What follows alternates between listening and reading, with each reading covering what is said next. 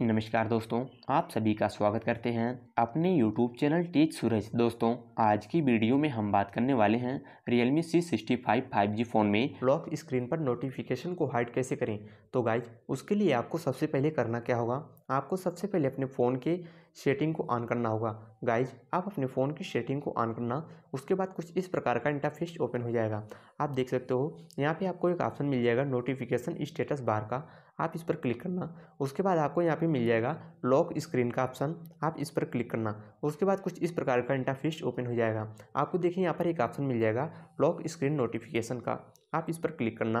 आपको यहाँ पे तीन ऑप्शन मिलेंगे, show app and notification content, show app only, do not show. So आपको यहाँ पे देखिए सेकंड नंबर पर क्लिक करेंगे तो जो है सिर्फ़ आपका एप्लीकेशन शो होगा मैसेज वहाँ पे नहीं शो होगा। और आपको यहाँ पे तीसरा ऑप्शन है डू नॉट शो का ऑप्शन यहाँ पे आपको ना ही एप्लीकेशन शो होंगे लॉक स्क्रीन पर और ना ही कोई मैसेज शो होगा। आपको यहाँ पे देखिए शो कंट्रोल सेंटर जो आप स्लाइड करते हो, आपको इसे ऐप कर दोगे तो आप लॉक स्क्रीन पर आपका कंट्रोल सेंटर भी शो नहीं होगा। तो गाइज़ आप अपने फ़ोन में लॉक स्क्रीन तो गाइज़ आप अपने फ़ोन में लॉक स्क्रीन की सेटिंग कुछ इस प्रकार से ऑन और ऑफ़ कर सकते हो।